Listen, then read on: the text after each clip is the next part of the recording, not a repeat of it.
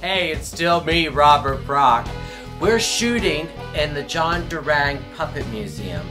And John Durang was America's firstborn actor, dancer, and puppeteer. And he was born in Lancaster just like I was in 1768.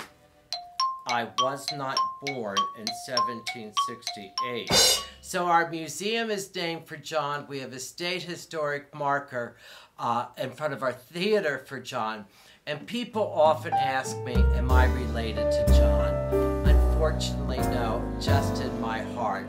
Christopher Durang, the Tony Award winning playwright, is a direct descendant of John's. And if you please subscribe to our Patreon page, like our YouTube page, I'll be telling you a lot more about John Durang. We need your help so we can keep on pulling the strings.